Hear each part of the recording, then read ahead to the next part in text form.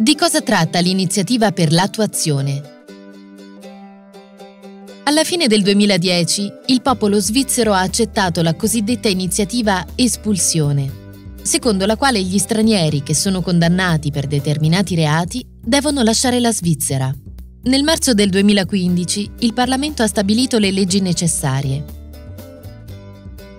Secondo queste nuove leggi, gli stranieri devono lasciare la Svizzera soprattutto nel momento in cui hanno commesso crimini sessuali e crimini che comportano l'uccisione, il ferimento grave o la messa in pericolo di esseri umani.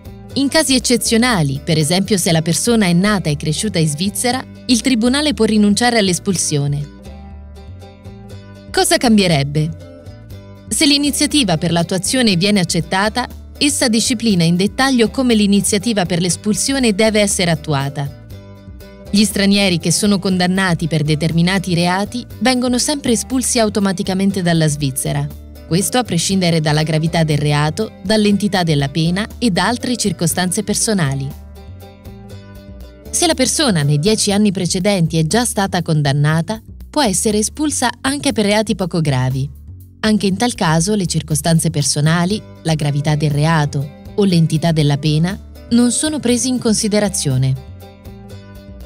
Se gli stranieri nei loro paesi d'origine sono perseguitati o rischiano la tortura, l'espulsione può essere rimandata soltanto temporaneamente.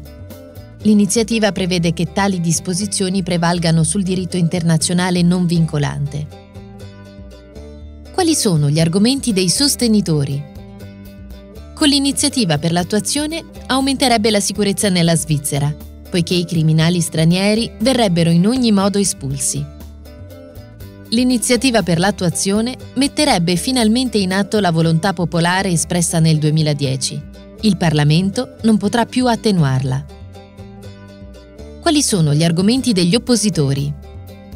L'iniziativa mette in pericolo gli accordi internazionali, quali ad esempio la Convenzione europea dei diritti dell'uomo, delle conquiste che non si possono mettere a rischio. L'iniziativa per l'attuazione aggira il lavoro del Parlamento e limita le competenze decisionali dei giudici, violando così la separazione dei poteri.